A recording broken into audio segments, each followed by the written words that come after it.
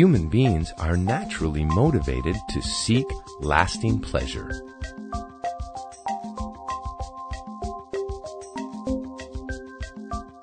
However, when their desires meet the pleasure, the desires are gradually extinguished.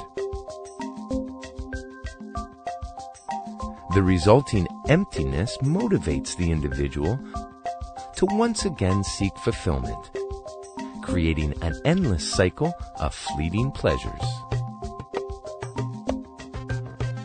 Exhausted by this cycle, an individual is forced to seek an entirely new and different motivation for fulfillment. This can only be found outside of the regular selfish fulfillment. It is the motivation to fulfill others. When this motivation meets our global reality, the opportunities for pleasure are unlimited, extinguishing the emptiness of modern life.